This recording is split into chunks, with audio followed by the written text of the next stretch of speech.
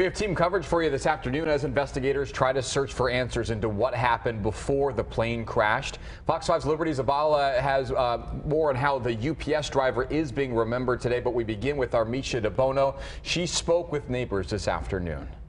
Is anybody home? Is anybody inside? It was amazing to see, uh, you know, strangers go up to a burning house and and save somebody that they don't know. James Slaff Gruel reacting to video of the rescue of his mother and stepfather from their burning home, which took a direct hit when a small plane crashed into this Santee neighborhood Monday. You know, it broke my heart to see my mom, you know, being pulled out and Phil being pulled out out of, you know, them having to break down a, a fence to pull somebody out. And uh, it was just, you know, it was very hard to watch. His parents, seen here in happier times, were in the front room watching TV about 12:15. His stepfather, Phil Morris, says there was no time to react before the room was fully engulfed in flames.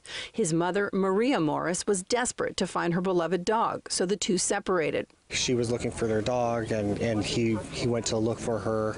Uh, he told her to get out, and as soon as that happened, they, you know, Michael and, and the ladies were pulling her out of the, the window, and the flames got really hot, really hot, so he had to go out the, the back door, which was They both suffered burns to their entire bodies, head, arms, and legs, and will remain at UCSD Medical Center for a while longer, but are expected to be fine.